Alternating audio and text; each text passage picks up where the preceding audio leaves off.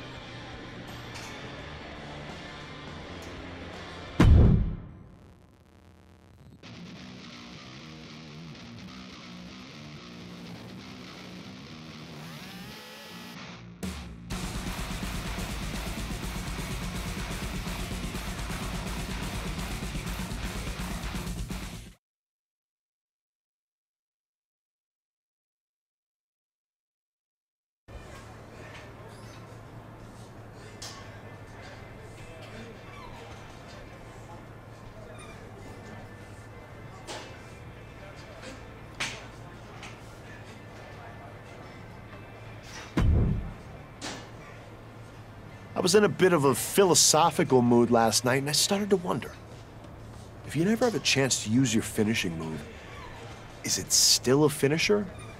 Or is it just a regular old move? What are you getting at?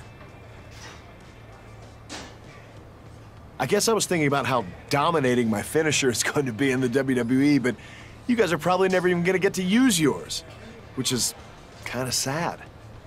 Total waste of some perfectly good finishing moves. I don't think you have to worry about that since I guarantee I could hit my finisher on you today. Really? Okay, well, how about we have a little fatal four-way finisher match? First one to hit theirs wins. Deal. I look forward to showing you that my finishing move is not gonna go to waste.